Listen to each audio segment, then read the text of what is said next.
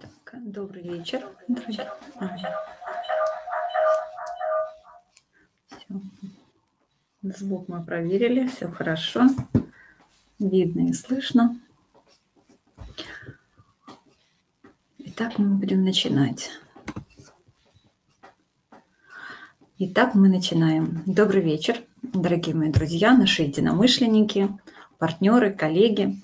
Сегодня мы с вами продолжаем цикл по дупликации, который называется «Простые шаги, приводящие к успеху» или «Первые шаги, ведущие в наш э, маленький бизнес» который, в принципе, впоследствии может стать большим. Меня зовут Любовь Федорова, я региональный куратор Латвии и спикер по дупликации. Э, свою как бы, тему я разбила на 8 таких э, больших тем, под тем, наверное, да, потому что у нас существует э, определенные семь задач, которые мы э, осуществляем, учимся решать, когда строим свой бизнес, когда мы приглашаем людей в команду, когда мы им при, при, помогаем делать свои первые шаги. Да, и эти семь задач, они очень важны. Э, сегодня у нас э, тема э, презентации, мы поговорим о презентациях проектов, поэтому так как тема очень большая, то я ее разбила на два вебинара, поэтому у нас семь задач превратились в восемь вебинаров. То есть я не оговорилась, их действительно восемь. И мы сегодня поговорим о презентациях, то есть э, что нам помогает их проводить, на что мы обращаем внимание, когда мы проводим презентации, как мы готовимся. То есть это все очень важно, что нам нужно знать, что нам нужно, можно использовать в презентациях. То есть мы понимаем, что у каждой презентации есть цель. В данном случае, когда мы говорим о своем проекте, когда мы приглашаем людей в бизнес, какова наша цель презентации? Э, первое – заинтересовать человека, человека и получить от него ответ «да».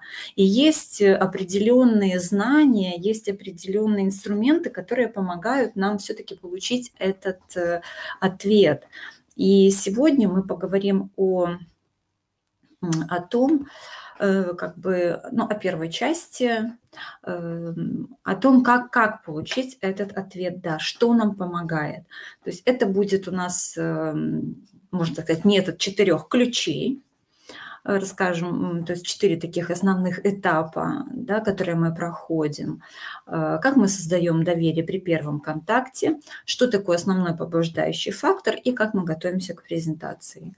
Э, сразу хочу сказать, что э, о первых контактах мы уже много раз говорили, говорили, когда говорили о звонках, что мы э, для того, чтобы с человеком у нас получился разговор, мы никогда его не ошарашиваем с первой минуты, почему мы его пригласили, о чем мы хотим с ним говорить.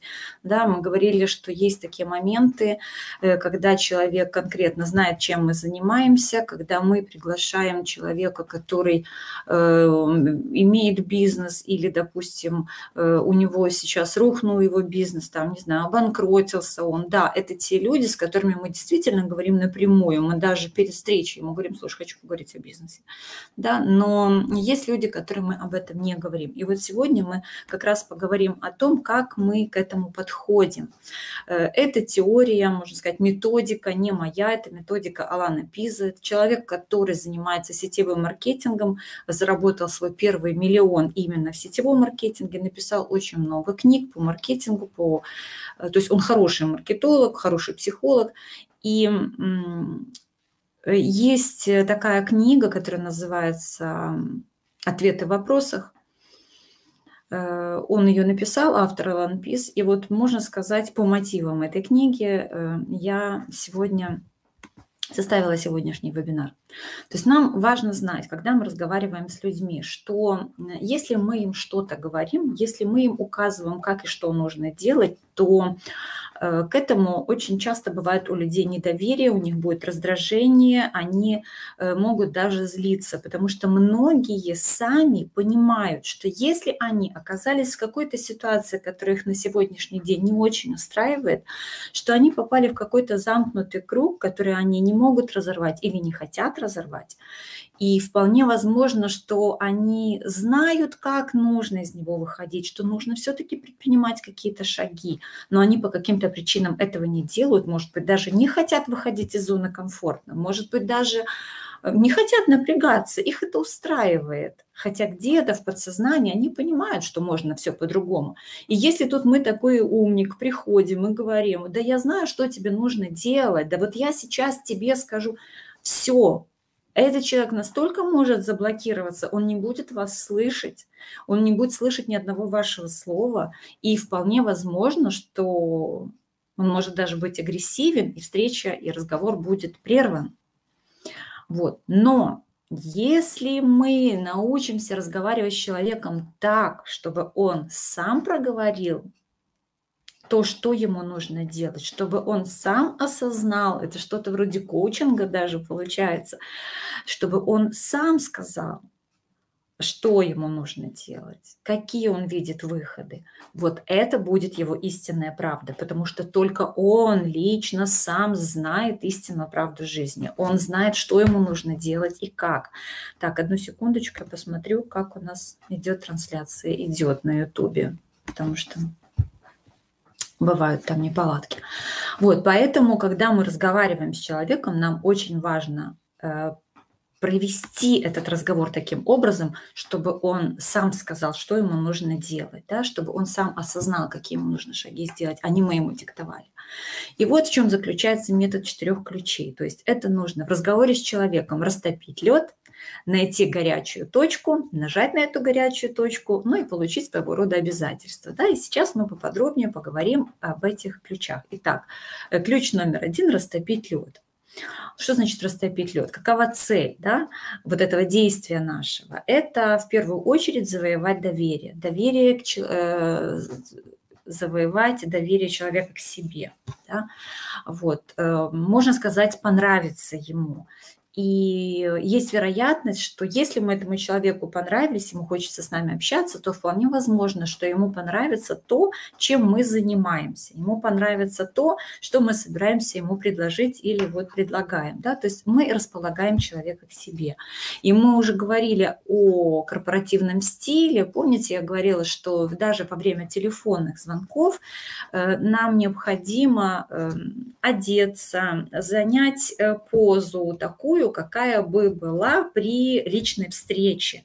Так, как бы мы были одеты, как бы мы себя вели, как бы мы даже сидели, если бы у нас напротив нас был наш собеседник. И вот даже говоря по телефону, мы все эти правила учитываем и соблюдаем, потому что мы, когда говорим, даже если нас собеседник не видит, у него все равно складывается какая-то определенная картинка. Наш голос, наши интонации э, очень многое говорят.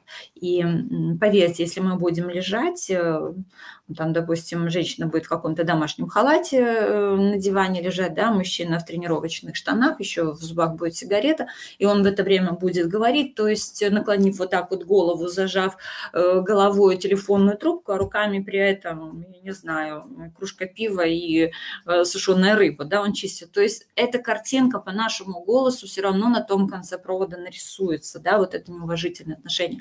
Поэтому нам для нас очень важно, чтобы при первом контакте у нас э, создать, э, создать доверие, у нас образовался вот этот, эм, как сказать, эм, коннект да, с этим человеком. Очень важно быть э, в форме в плане того, что нужно соблюдать все-таки корпоративный стиль. При этом мы при встрече, сейчас мы говорим конкретно о встречах, э, при этом мы при встрече говорим первое, представляемся, если мы, допустим, по рекомендации с человеком встречаемся, да, если это наш какой-то уже знакомый, то, конечно же, мы говорим первым. Вот. Если мы говорим, представляемся и говорим, чем мы занимаемся, человек не знает, чем мы занимаемся, то обязательном порядке мы проговариваем. Очень хорошо использовать такие фразы «занимаюсь стартапами», которые приносят долгосрочную прибыль, поддерживаю инновационную транспортную технологию. То есть мы не говорим, что мы представитель компании, да, это очень э, громко звучит, на самом деле мы никакие не представители компании, мы э, только люди, которые проинвестировали, которые, эм, правильно сказать, заключили с компанией э, договор конвертируемого займа и поддержали финансово развитие проекта и ждем пока что результатов, да, и ищем таких же людей, как мы, которые готовы поддержать для того, чтобы наш проект быстрее осуществился, а мы закончили 15 этапов. Вот на самом деле какова наша позиция, кто мы есть в этом проекте. Вот, от корпоративном стиле, да, я сказала, то есть очень важно, чтобы мы были э, в форме. Ну, как бы в э, форме, я имею в виду в хорошем настроении, да, и чтобы мы соблюдали все-таки корпоративный стиль. Дальше, ключ номер два – найти горячую точку. Вот это вот такая очень большая тема. Что такое найти горячую точку? Это выявить основной побуждающий фактор. Эм, и когда мы начинаем его выявлять, выяснять, что это такое и вот давайте так, по-другому. Основной побуждающий фактор – это та движущая сила, которая мотивирует и ведет нас, иногда подталкивает, иногда жестко заставляет действовать. То есть те обстоятельства, которые заставляют нас выйти из зоны комфорта. И это могут быть, эм, как бы сказать, два направления. Либо мы чего-то очень хотим, то есть это наша цель, это наша мечта, это наше огромное желание – и мы к этому идем, да, это будет нашим основным побуждающим фактором, который заставит нас действовать. Либо это могут быть какие-то очень тяжелые условия, и это будет вынужденная мера, то есть мы для того, чтобы прокормить своих детей, допустим, вынуждены выходить из зоны комфорта и что-то делать. Вот это будет, э, вот это вот нужда, вот это тяжелое наше положение, это тоже будет на сегодняшний день основным побуждающим фактором, который заставляет человека действовать и что-то делать. А. Ну, какие могут быть эм, э, вот эти факторы у, у людей разные, да, то есть они могут быть разные. Э, их может быть несколько. Они очень часто не совпадают э, с нашим, и это нужно тоже учитывать. Допустим, э, для кого-то очень важно просто дополнительный доход. Для чего-то. У него есть какая-то цель, у него есть основной доход, и ему для его цели не хватает вот еще немножечко. И ему нужен просто дополнительный доход. И он э, соглашается поучаствовать в этом проекте. Да? Кому-то нужна полная финансовая независимость, поэтому он делает э, очень много действий, движений. Все, что он в жизни делает, это только для того, чтобы достичь вот этой финансовой независимости. Кто-то просто давно мечтает открыть свой собственный бизнес, потому что давно работает на дядю, и ему нужен ну, этот самый, ему нужен, в общем, э, свой собственный бизнес, чтобы он был сам себе начальник и хозяин. Вот. Э, кто-то занимается тем же сетевым маркетингом или, допустим, идет в наш бизнес, потому что понимает, что занимаясь этим бизнесом, будет гораздо больше свободного времени. Потому что человек хочет путешествовать, еще что-то, а так получилось, что когда он работал, эм, ну, как от звонка до звонка, да, каждый день, полный рабочий день, то у него совершенно нет свободного времени для какого-то своего хобби или какого-то еще любимого занятия. Вот он понимает, что да, мне этот проект нравится, потому что здесь у меня высвобождается очень много свободного времени. Вот. Для кого-то личностный рост, у нас он тоже существует. То есть очень эм, как бы любой вот этот, это основные побуждающие факторы, которые существуют, вот это э, вытяжка такая, да, но все они подходят, абсолютно подходят к нашему проекту, потому что участие в нашем проекте помогает осуществить любой из этих пунктов. Личностный рост, пожалуйста, мы растем, мы развиваемся, мы делаем структуру, мы растем по статусам, дальше мы можем даже достичь каких-то, э, там, даже стать тем же спикером, не знаю, куратором своего, куратором своего региона, это тоже уже получается, мы, ну, здесь, наверное, больше карьер карьерный рост, да, вот, но у нас проходит, очень много семинаров, у нас был коучинг очень большой, 10-модульный, да, сейчас вот тоже новое направление мы э, запускаем обучение, поэтому здесь э, тоже все это есть. Помощь другим, какие-то новые знакомства, это тоже у нас есть, потому что мы знакомимся с новыми людьми. На сегодняшний день э, мы такая огромная команда, хоть и говорят, что эм, сетевые компании э, не, нельзя назвать большой командой, потому что все команды в разных странах, разных городах, но мы не сетевая, у нас немножечко есть другое, что нас объединяет, да, и встречаясь в Минске ежегодно, э, я даже не буду делать никакие акценты на всякие там пандемии, я все равно считаю, что мы встречаемся ежегодно все вместе большой компании, компании, и мы эм, и мы можем сказать, что мы все-таки команда, да, и мы только зовем и приглашаем, присоединяйтесь к нам. Сейчас тоже есть, немножко позже скажу об этом, да, возможность опять встретиться большой-большой-большой командой. Вот. Ну, также можно уйти с какой-то своей основной работы, да, и заняться конкретно собственным бизнесом. Может быть, кто-то просто хочет оставить наследство своим детям, ну и, может быть, кого-то волнует будущее планеты. У нас это тоже есть люди, которые для, занимаются, допустим, той же экологией, защитой окружающей среды, у кого-то это профессионально, кто-то это от души хочет делать, э, допустим, сортирует мусор и, э, приходя на озеро, в первую очередь э, убирает тот мусор, который оставил оставили другие посетители. Да? Это тоже называется, что человек эм, беспокоится о природе, об экологии, а и о будущем вообще нашей планеты. Вот, потому что сама личность в таких ситуациях э, очень часто оказывалась, когда ты приходишь на озеро отдохнуть, а там мусорник. То есть мы в первую очередь что достаем мешки, убираем территорию, а потом только располагаемся, ставим палатки для того, чтобы отдохнуть. Вот. И для того, чтобы правильно выявить основной побуждающий фактор человека, если мы его не знаем, если мы не, э, ну, не знаем этого человека, если мы не знаем, что его побуждает, э, какие у него цели в жизни, да, тогда нам помогут пять золотых вопросов. Сейчас мы о них поговорим. Но есть ситуации, когда мы можем э, сами выяснить. Мы это можем выяснить в разговоре, э, или мы очень много уже об этом человеке знаем, и мы можем сразу начать с того, что мы знаем его ситуацию, мы знаем, что ему нужно, мы знаем, о чем он мечтает. Вот. Э, сейчас я вам, давайте я даже вернусь э, вот к этому списку и расскажу вам сначала две такие истории, постараюсь очень быстро, в которых я лично сама оказалась, еще не знала ничего про этот основной побуждающий фактор. Вот. Была у меня одна знакомая, которая, у которой был тоже свой бизнес, она э, у нее был свой салон, она косметолог, она в сфере красоты проработала всю жизнь, зарабатывала очень хорошо, у нее очень много клиентов. Вот. И когда предложила поучаствовать в проекте, она сначала скептически, Э, задавала какие-то вопросы провокационные. Э, ну, я уже понимаю, что все, я, наверное, не буду больше терять время, не буду больше ну, с этим человеком разговаривать, потому что, ну, не хочу. Я говорю, знаете, Татьяна, давайте, наверное, так, э, если вам это интересно, вы просто скажите, что это вам не интересно, потому что не надо мне задавать никакие провокационные вопросы. Я э, в проекте на тот момент э, уже пошел второй год, я сделала совершенно осознанный выбор, я знаю, что я буду идти до конца э, с этим человеком, помогать Анатолию Эдуардовичу. Для меня это человек, на котором мне хотелось бы равняться, на котором мне хотелось быть похоже, взяв его, вот, учитывая его это упорство и силу воли и все остальное. Поэтому давайте так, я вам предложила, вам не нравится мое предложение, все, мы разговор закрываем. Она говорит, нет, я не хочу закрывать разговор, я хочу, чтобы ты сейчас убедилась, что мне это надо. Я говорю, послушайте, я вас убеждать не буду, что вам это надо. Вы сами должны принимать решение, надо вам это или не надо. На сегодняшний день я понимаю, что вам это не надо.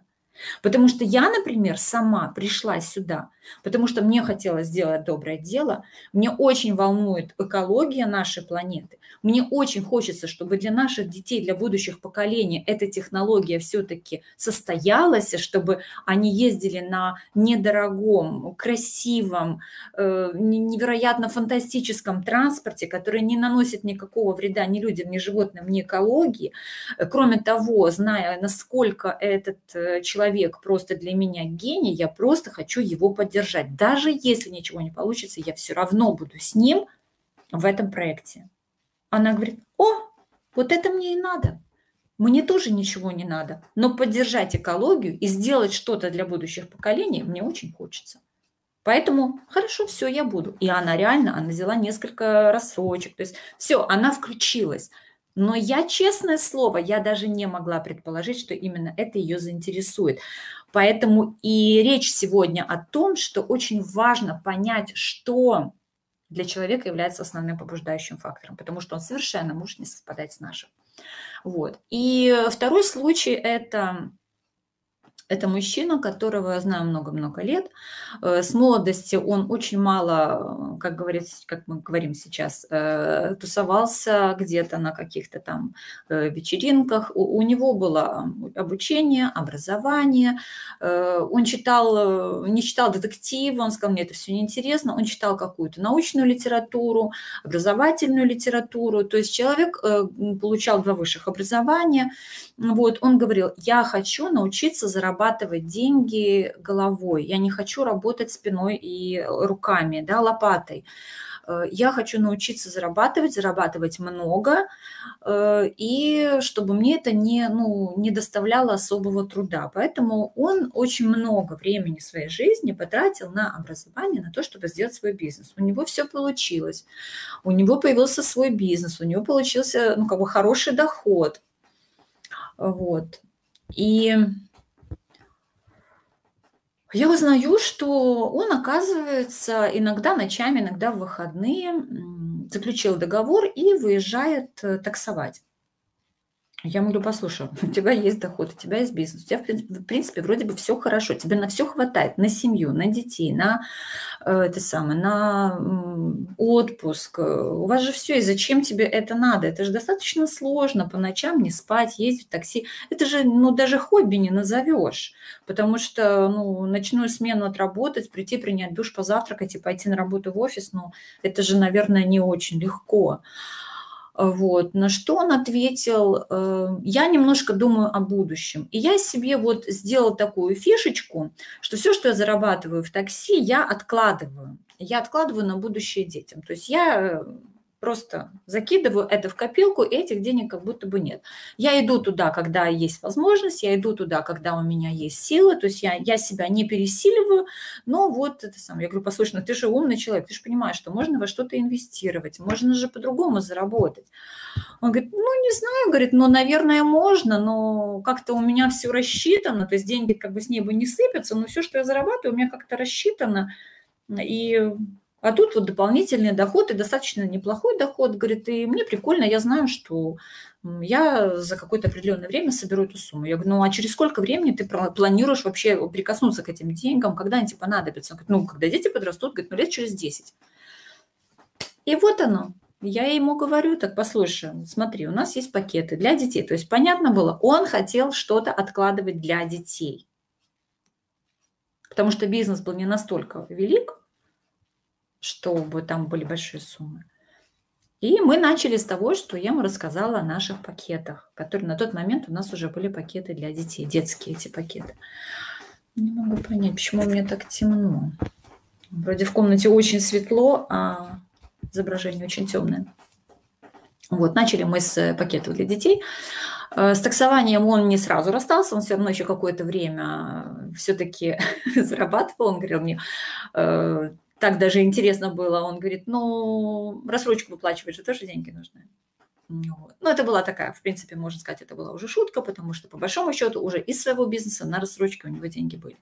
Да, но сам факт, что когда, мы, когда я поняла, что человек, у которого все есть, ему важно было что-то собрать для детей, когда они вырастут, потому что сегодня они еще маленькие, да, у нас тоже было, что ему предложить. И вот это был его основной побуждающий фактор, потому что все остальное у него уже было. То есть, и вот, вот я еще раз говорю, что здесь я еще не знала никакую науку, как его его э, выявлять, да, я не знала про эти пять золотых вопросов, но вот в процессе разговора получилось так, что он выявляется. И по большому счету каждый из вас может это делать.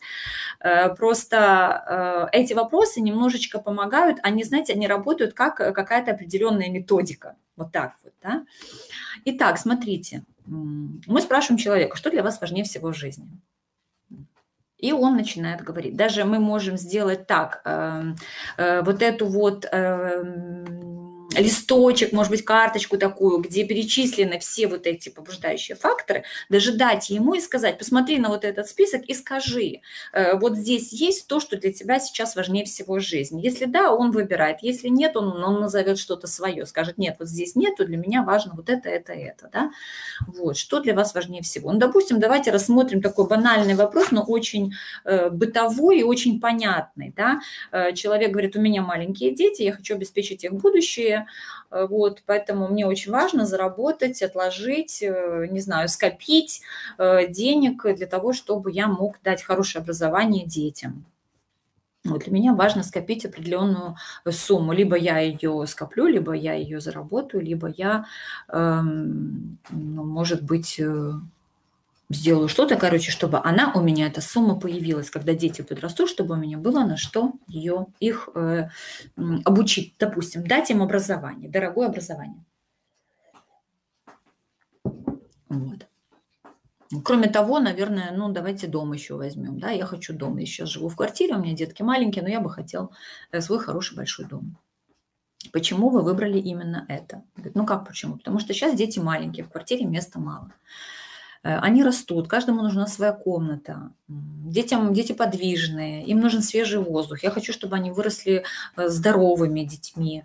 Э, поэтому в доме, где у каждого будет своя комната, где будет большой двор, где будет простор, свежий воздух, то есть детям уже даже просто сама территория, где они находятся, уже намного лучше. Да?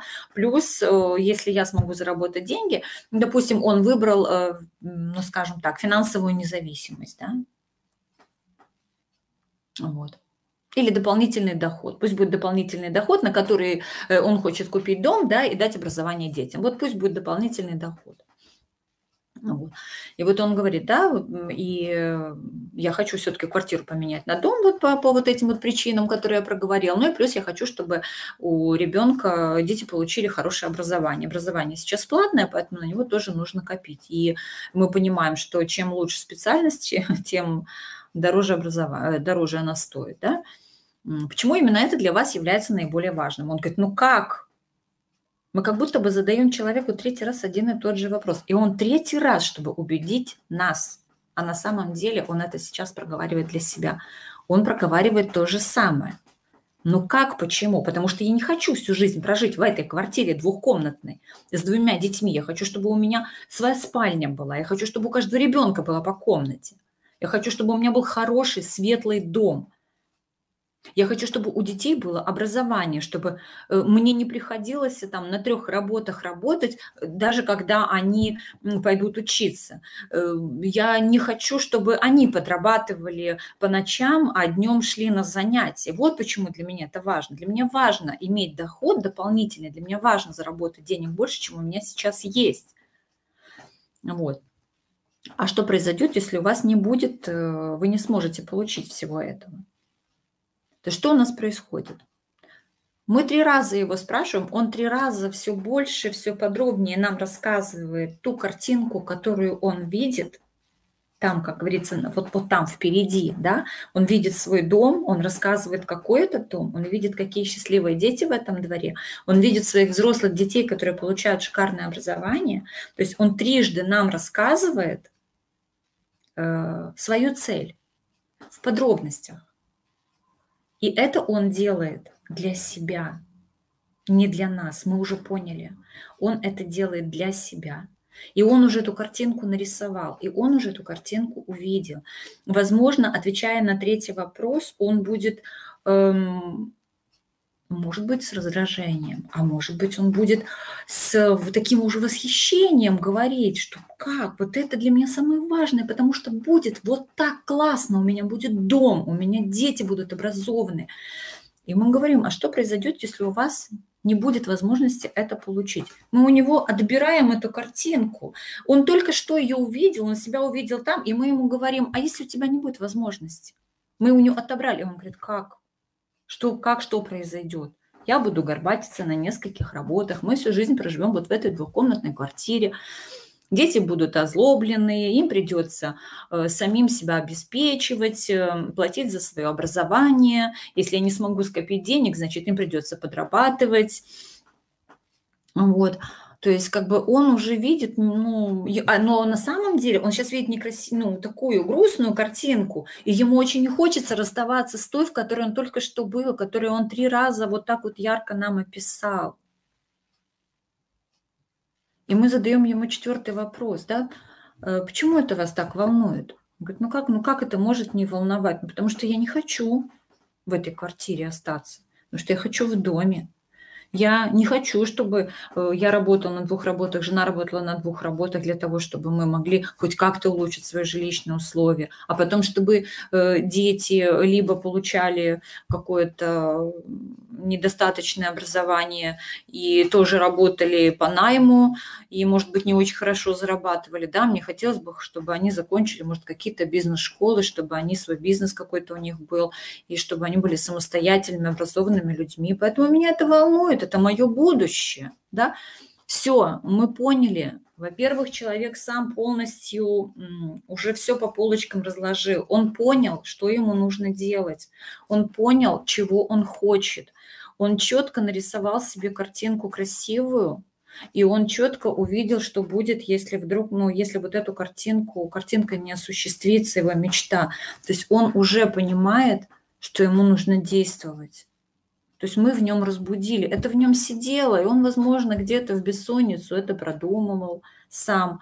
Но не проговаривая это вслух, не делая вот такие вот яркие акценты, не вызывая его на такие эмоции, если его никто не вызывал на такие яркие эмоции, у него так это мысли, потом утром проснулся и пошел опять туда. А тут мы вызвали у него яркие эмоции, и он понял все за и все против. Он понял, когда это есть, вот этот плюс, и он понял минус, когда этого нету. И когда вы ему делаете предложение, вот тут-то мы понимаем, о чем мы можем с ним говорить и на что мы можем делать акценты, делая ему презентацию нашего проекта. Потому что я как бы повторюсь, что я уже вначале сказала, что э, люди выходят из зоны комфорта только в двух случаях, когда им это нужно, когда это вынужденная мера, да, так же, как и при покупке. Человек что-то покупает, если ему это нужно, необходимо. Да? Вот он сварил суп, ему нужна поварешка, потому что ему нечем налить этот суп в тарелку. И он купит эту поварешку, она им просто необходима. Или когда они чего-то очень хотят. Он сварил суп, у него есть поварешка, у него есть даже простая тарелка, но он хочет поесть этот суп из очень красивой тарелки. Он хочет. И он тогда эту тарелку себе купит. Потому что ему просто очень хочется поесть этот суп из красивой тарелки. То есть это вот что касается вот этих вот, э, когда человек покупает, да, мне кажется, это очень легко понять, это очень такой банальный, простой пример, когда мы его ну, легко понимаем. То есть также и выход из зоны комфорта. Либо это вынужденная мера, потому что связанная, прям, не знаю, жизненно важная, да, либо когда это мечта. Это мечта, это цель, я очень этого хочу, и я обязательно этого добьюсь, да, и я выйду из зоны комфорта, чтобы туда пойти. Вот. И вот как раз наша задача в первую очередь выяснить вот эту настоящую потребность человека. Как только мы выясняем настоящую потребность человека, все, мы можем приступать к презентации и делать ему предложение. И вот это называется нажать на горячую точку. Да? То есть все, мы ее нашли. Мы ее нашли, и мы на нее нажимаем. То есть как мы на него нажимаем? Мы делаем презентацию. И мы делаем презентацию четко с тем акцентом, о котором мы только что поговорили. Смотрите, в моем случае – Человек сказал, что он хочет получ- э, помогать планете. Поэтому, рассказывая о презентации, я рассказываю очень много о том, какой наш транспорт, именно как он, э, насколько он безопасен. То есть я рассказываю о экологичности, о безопасности этого транспорта, о том, что это будет дешево, что он будет доступен каждому человеку, это помощь вот этим всем людям, да. То есть все, я понимаю, на что делать акцент. И она говорит, ну что дальше, что дальше? Все, выбираем пакет и, и поехали, да. То есть я сделала акцент на то, что нужно было ей. Когда я говорила с человеком, который ночью ходит таксовать, потому что он хочет в копилочку складывать для детей на будущее какие-то деньги, там, на счет в банке, не знаю, он сказал, это моя копилочка. даже не спрашивала, это у него э, коробочка дома стоит, там, мешочек под матрасом, под кроватью, да, или это счет в банке, да, он сказал, копилочка для детей, я наполняю детскую копилочку. Вот. Я ему сказала, для детской копилочки у нас есть детские пакеты, которые не только э, у тебя будет э, номинальная потом стоимость, да, она еще обрастет дивидендами, пока ребенку исполнится 18 лет, когда ему понадобятся эти деньги. Через 10 лет этот пакет превратится ну, в приличную сумму. Вот. То есть мы, когда делаем презентацию, мы конкретно говорим, э, ну, делаем акцент на то, что мы только что выяснили? На то, что именно важно для этого человека. Если он говорит, мне важна финансовая независимость, мы ему говорим, у нас через какое-то время вы действительно будете финансово независимы, потому что такой-то, такой-то пакет, потому что какие у нас последствия? Мы заключаем договор конвертируемого займа, когда эти акции будут конвертируемы, э, конвертированы, то мы получаем дивиденды. Да? То есть мы на это делаем акцент. Кто-то говорит, мне нужен дополнительный доход сегодня и сейчас. Здесь мы на что делаем акцент? На маркетинг на то, что у нас хороший маркетинг, за то, что у нас есть 15% за привлеченную инвестицию. То есть и неважно, это будет э, дядя Степа из соседнего подъезда, который тысячу положит, да, или это будет какая-то юридическая фирма, которая там 50 тысяч захочет инвестировать. Неважно, ты все равно свои 15% получишь. То есть мы понимаем, как нам сделать акцент – и в этом нам как раз помогает наш выявленный основной побуждающий фактор.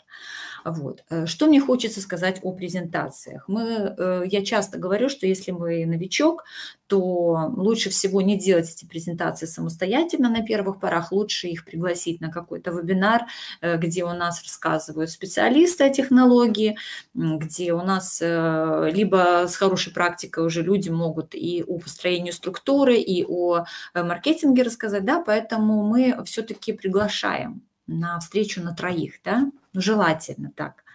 Неважно, это онлайн-встреча или это офлайн встреча Вот. Но бывает так, что нам самим приходится рассказывать. Вот все. Такая ситуация, мы попали, случай, все, мы должны сами рассказывать. Тогда что мы делаем? Конечно, про, лучше всего использовать уже готовые презентации. Они в личном кабинете у нас есть в материалах для, для партнеров. Да? Вот. Ну, в, в разделе партнерам у нас там есть э, и лендинги хорошие, как рекламные такие проспекты э, и, и электронные, да, вот, и готовые уже презентации. То есть есть большие, из них мы можем сами нарезать что-то более маленькое, мы можем их скачать и сделать себе несколько презентаций, презентацию на 5 минут, презентацию на 15, презентацию на полчаса, да, в зависимости, сколько мы слайдов захотим показать. Там очень много хороших красочных картинок, где мы можем рассказать о технологии. Вот. Э, главное, э, есть определенная структура, э, когда мы говорим о проблемах, которые существуют, какое есть решение, какой наша компания предлагает решение, да, и какая возможность участия, да, мы же все-таки человека в бизнес приглашаем, чтобы он поучаствовал, мы рассказываем, каким образом он может участвовать и каким образом э, это самое, ну, то есть его возможности. Вот. Естественно, мы используем ролики с официальных каналов и всякую печатную литературу. Да, у нас есть э, э, сейчас уже мы не делаем как раньше, что мы могли там напечатать, разослать, либо при, привести э, какую-то литературу. Сейчас все брошюры у нас в электронном виде есть, и их можно заказать и самим типографии отпечатать в своих регионах или, может быть, для своей структуры. Вот. Э, дальше мы, конечно же, говорим про инвестиционные возможности, потому что все-таки э, мы говорим сейчас о бизнесе. Если мы с человеком говорим о его какой-то э, дополнительном заработке, доходе да, или о финансовой независимости, мы, конечно же, говорим об, о инвестиционных наших возможностях, какие у нас есть программы, какие у нас есть условия финансирования. Ну и приглашаем в бизнес, то есть знакомим с маркетингами и всеми возможными заработками возможностями заработка. То есть это все мы делаем на своих презентациях. Очень хорошо в личной беседе, опять-таки, понимая основной побуждающий фактор этого человека, мы делаем четко, четко, четко э, акценты. И мы прям, знаете, даже очень хорошо использовать те же фразы, которые говорит он. Вот, допустим, он говорит, эм, я хочу уйти с работы, потому что мне это все надоело, я хочу заняться чем-то своим, вот, и, и мы когда говорим, вот смотрите, вот так и так, и у вас вот здесь будет возможность э, заработать по маркетингу, получить свои 15%, и чем больше у вас будет э, таких приглашенных людей, тем быстрее у вас появится возможность уйти с вашей работы, да, то есть мы... Э, Можем задавать вопрос ему. Вот он нам говорил, говорил, говорил, и потом он говорил, что хочу уйти с работы, да, хочу заработок, и вы ему говорите, ну вот вы хотите дополнительный заработок, это же это означает, что вы хотите, если он у вас появится, значит, э, вы действительно уйдете со своей работы? Да, конечно, я уйду. То есть мы то, что он проговорил, мы повторяем. Мы повторяем, и э, опять-таки, как мы говорили, чтобы быть с ним на одной и той же волне, и чтобы показать ему, что мы совершенно понимаем, о чем у нас идет разговор. Мы понимаем его потребности, мы понимаем его проблемы, а не так, что он нам говорит одно, а мы ему толдычим что-то другое, вот давай, давай, давай, давай. Вот. Э, есть эм, ну, давайте, да, закончим с презентациями. Что нужно для подготовки к беседе? Ну, это уже так. Э, в первую очередь мы просматриваем последние новости, да, что у нас сейчас произошло, для того, чтобы мы могли поговорить и рассказать, что у нас на сегодняшний день происходит. Э, у Юницкого есть книга «100 вопросов, 100 ответов». Там очень много, очень много интересных моментов. Там есть какие-то технические данные, потому что есть такие люди, мы поговорим об этом на следующем вебинаре по психотипам людей. Э, есть такие люди, которые могут задавать э, очень, э, можно сказать, каверзные вопросы. Для нас они могут быть каверзные, если мы в этом ничего не понимаем, потому что кто-то технарий, он хочет технические вопросы задать, и ему будет очень приятно с нами разговаривать, если мы будем компетентны, если мы сможем ему ответить. Если он спросит, ну а в чем безопасность там этого рельса, да, и э, если мы ему сможем это объяснить, как устроен этот рельс, или там в чем уникальность этого рельса, ну и что, ну вон рельсы, пожалуйста, на земле. Да? И если мы э, все-таки будем подкованы, будем компетентны и сможем ему объяснить, это только нам огромный плюс. И это говорит о том, что этому человеку с нами будет интересно разговаривать дальше, потому что он понимает, что он разговаривает с понимающим, знающим человеком, который может ответить ему на его вопросы, которые его интересуют. Да? Поэтому, когда мы заглядываем вот в эту книжечку 100 вопросов, 100 ответов, мы там можем тоже найти очень много интересного. Конечно же, какой-то каталог, какой-то журнал у нас, они тоже есть, э, и э, скоро будут новые. Э, вот, потому что сейчас будет большая выставка в Дубае, я думаю, там все события тоже нужно осветить. Плюс к этому моменту у нас уже мы знаем, что мы получили еще несколько новых сертификатов, поэтому, конечно, э, я думаю, что у нас скоро будет новый каталог. Вот. Какие-то буклеты, которые, если мы при личной очень, очень хорошо, если у нас есть с собой какие, какая-то литература, которую мы можем подарить. Не просто прийти, открыть, показать, да, и закрыть и положить в свою сумку, потому что этот журнал, допустим, дорогой, или он у меня уже остался единственный, да, но все-таки иметь что-то, что мы можем оставить этому человеку. Вот. Распечатанный список инвестиционных пакетов и промоакций. Это тоже очень важно. У нас такой литературы нет. Мы когда-то пробовали такое создавать, но получается, что на каждый этап нужно распечатывать абсолютно э, новые наши возможности, которые есть в кабинете, потому что это закрытая информация. И когда мы человека приглашаем, когда мы ему рассказываем, что есть у нас на сегодняшний день, то ему, конечно, хорошо бы знать и видеть, что у нас есть на сегодняшний день. А видеть он это может только тогда, когда он уже зарегистрируется, у него будет свой личный кабинет. Либо же мы откроем ему свой кабинет, но когда наша беседа закончилась, мы закрыли и ушли. У него не осталось, может быть, в памяти, какие есть возможности, какие есть интересные пакеты. А если мы их распечатаем на отдельные листочки, оставим ему, вот тут же проговорим, ему что-то покажем, может быть, где-то что-то подчеркнем, что-то где-то выделим, отметим то, что ему было бы выгодно, да, и потом ему оставим этот листочек, он у него будет перед глазами, он, а, ну, будет таким побуждающим тоже моментом все-таки еще раз вернуться, еще раз рассмотреть, еще раз посчитать, да, если человек, допустим, не принял сразу решение, он в каких-то еще сомнениях. Поэтому, э, так скажем, это закрытая информация абсолютно для новичков, она открыта только для пользователей уже, для зарегистрированных, поэтому если мы вот этот вот сделаем проспектик э, сами и оставим, то это тоже будет большой плюсик, потому что у человека будет возможность постоянно иметь его перед глазами. Вот. Ну, естественно, конечно, мы, идя навстречу, у нас либо компьютер, либо планшет в обязательном порядке должен быть с собой. Вот. Материалы для презентации сказала, да, что вот есть печатные у нас материалы, э, видео на официальных сайтах, компьютерные всевозможные презентации, которые мы можем сами сделать, можем использовать абсолютно все, что у нас есть готовое. Вот. Э, по побуждающему фактору хотела еще сказать одну вещь такую. Давайте один маленький пример, почему все-таки э, важно выявить его. Э, потому что у нас может быть он один, у человека другой. И если мы на этой волне, понимая, что я нашла то, что я хочу, я могу э, достичь того, о чем я мечтаю, я могу удовлетворить самую свою самую важную потребность, допустим, ну давайте какой пример – ну, давайте уйти с работы. Да, все, вот уйти с работы. Я не хочу на своей работе, все, вот категорически не хочу, хочу заниматься чем-то другим. Я наконец-то могу от этого уйти, я начала заниматься, я ушла, и я рада. Я просто рада, здорово. И я прихожу к человеку и говорю, вот знакомлюсь и рассказываю ему, как было здорово мне когда я узнала о проекте, потому что у меня была такая работа, я, я от с нее ушла, я перекрестилась там 10 раз.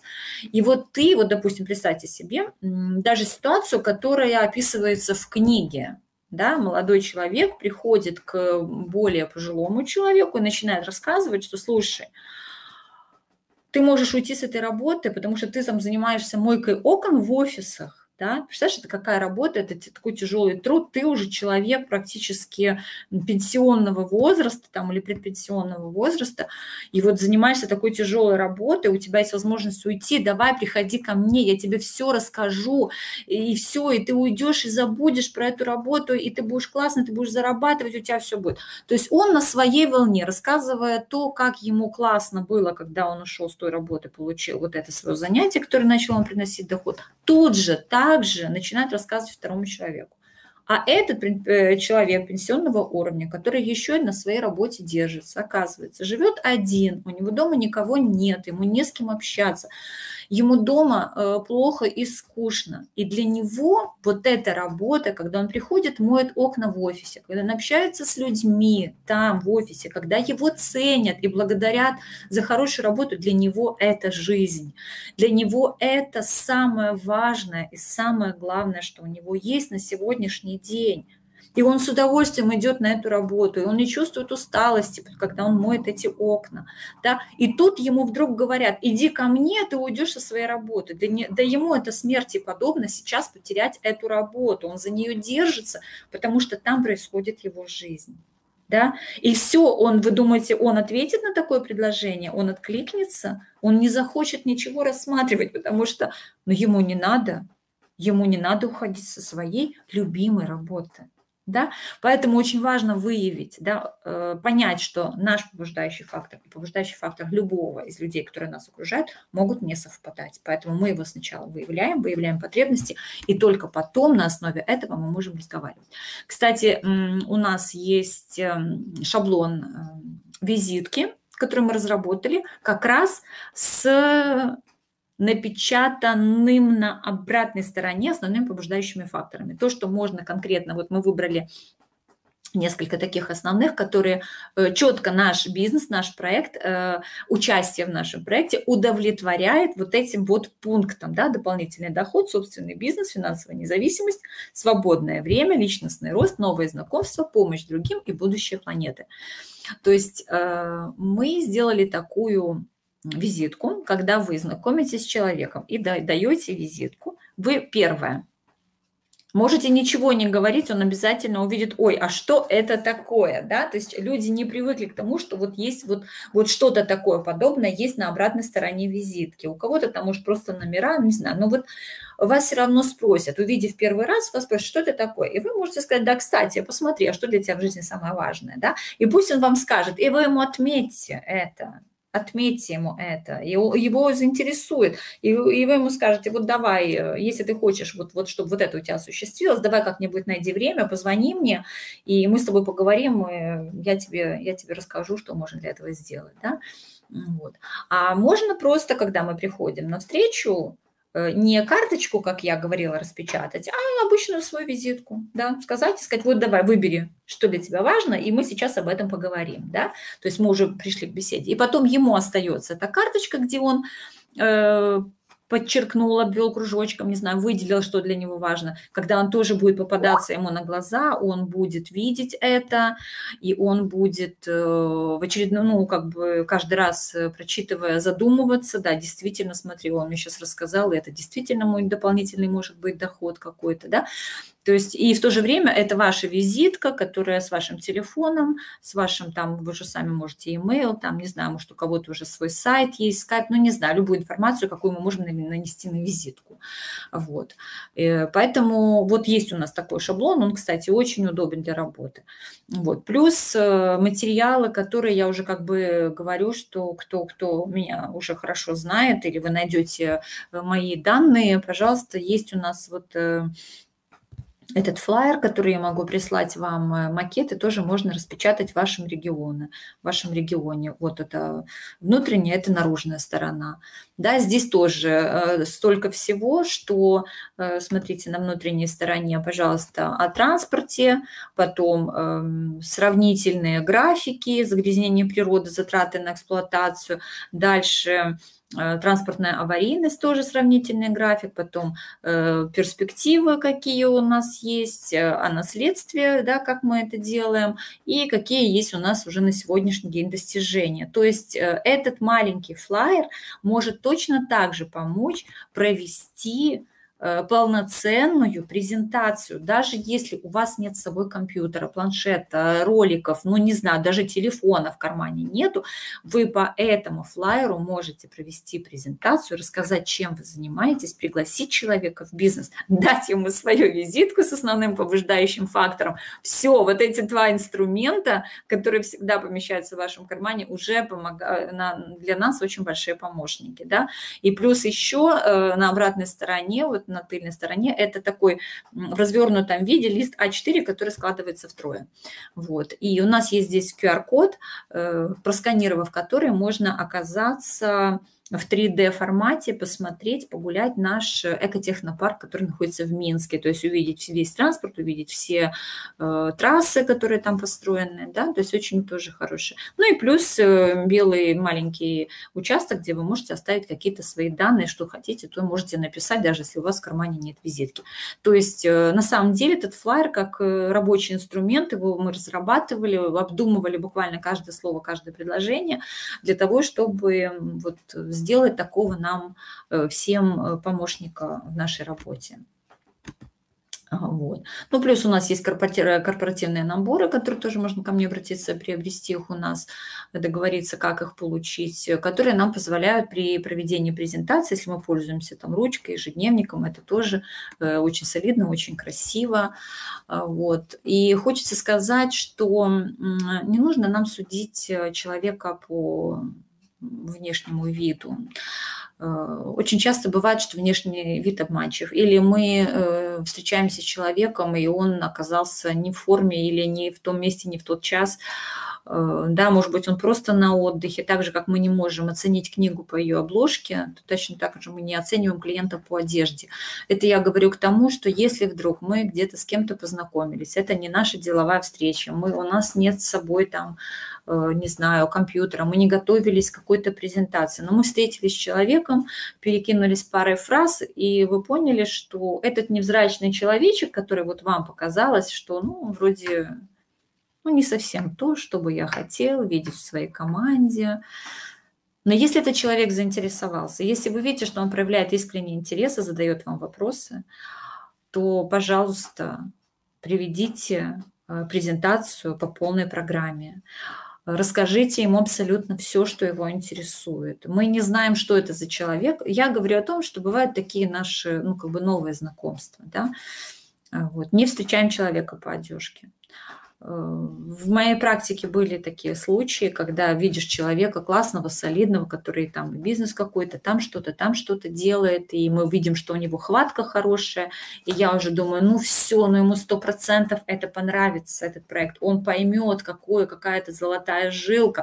То есть я понимаю, все супер, такой деловой, такой все, я начинаю с ним говорить, и к нему не достучаться, да, то есть ну все, а бывает так, что случайно что-то скажешь, ты видишь человека, а ему это вряд ли надо, ну ладно, на всякий случай там что-нибудь скажу, он же меня спросил, ну скажу, ну да, у меня там такой проект, ну да, я вот туда сейчас еду или оттуда там приехал. А он начинает задавать и задавать вопросы и говорит, блин, я тоже хочу, я хочу, мне нравится, я все, я мечтала о таком, да, вот, поэтому не судим по обложке, а это самое – а делаем презентацию, вот коль мы сегодня говорим о презентациях, да, то конкретно работаем с этим человеком по полной программе, на все 100% выкладываемся.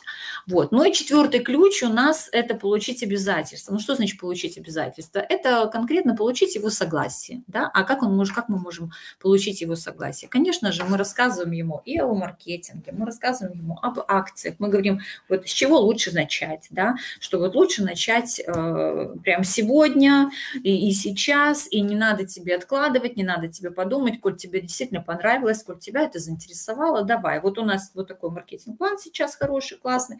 Вот у нас сейчас есть вот такие промо-акции, как вот, например, сейчас у нас, э, у нас когда-то э, был конкурс «Бизнес в удовольствие», и сейчас мне кажется, что любой из наших конкурсов можно назвать «Бизнес в удовольствие», потому что э, сейчас есть конкурс, можно выиграть тур в Эмираты для того, чтобы посмотреть наш технопарк, нашу инновационную площадку, которая находится в Шарже, в Эмиратах, да, и победители туда поедут бесплатно, они получают этот тур в подарок.